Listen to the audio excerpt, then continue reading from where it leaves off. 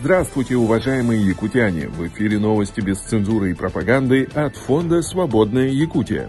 Колонию на 3000 заключенных планируют построить рядом с Улан-Удэ. Для этого хотят вырубить около 80 гектаров леса.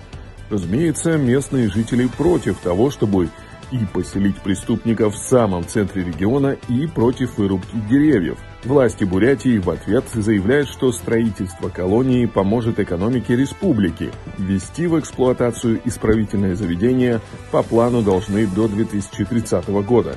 К этому времени, кстати, в России как бы должны построить тысячу отечественных пассажирских самолета. Об этом сообщил Путин на своей четырехчасовой пресс-конференции – Осталось выпустить всего-то 998, если в этом году все-таки оба изделия в итоге сдадут. Скорее всего, к 30 году об этом уже забудут, так же, как о полете на Марс к 2019 году и высадку на лунные полюса перед этим.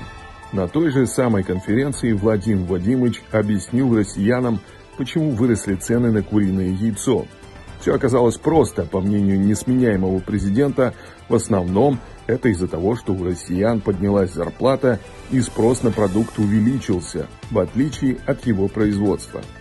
Идет ну, небольшое, но все-таки повышение доходов, э, уровня заработной платы э, и так далее. Спрос увеличился. Это спрос увеличился, а объема производства нет.